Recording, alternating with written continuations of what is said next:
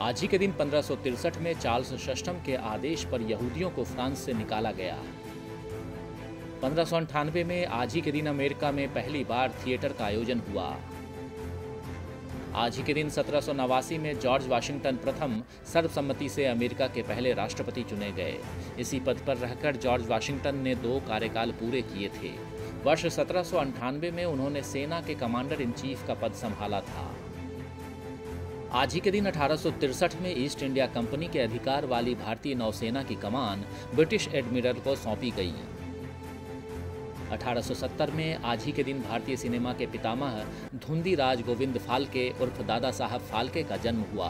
जब सिनेमा में इस्तेमाल होने वाली तकनीकों और मशीनों के लिए हम विदेश पर निर्भर थे, उस समय दादा साहब ने भारत की पहली मूक फ़िल्म राजा हरिश्चंद्र बनाई थी। फ़िल्मों में विशिष्ट योगदान के लिए इनके नाम पर ही दादा साहब फाल्के पुरस्कार दिया जाता है।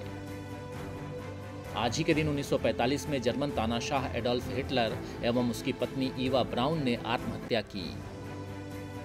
उन्नीस सौ इक्यानवे में आज ही के दिन बांग्लादेश में भीषण चक्रवात में सवा लाख से अधिक लोगों की मौत और 90 लाख लोग बेघर हुए।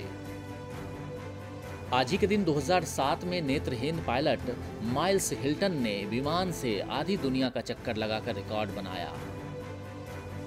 आज ही के दिन 2008 में चालक रहित विमान लक्ष्य का ओडिशा के बालासोर ज़िले के चांदीपुर समुद्र तट से सफलतापूर्वक परीक्षण किया गया। 2010 में आज ही के दिन बेल्जियम में संसद के निचले सदन ने सार्वजनिक स्थानों पर बुरके पर पाबंदी लगाने संबंधी विधेयक को मंजूरी दी। आज ही के दिन 2013 में नीदरलैंड की महारानी बिट्रिक्स ने पद छोड़ा और विलियम अलेक्जेंडर राजा बने।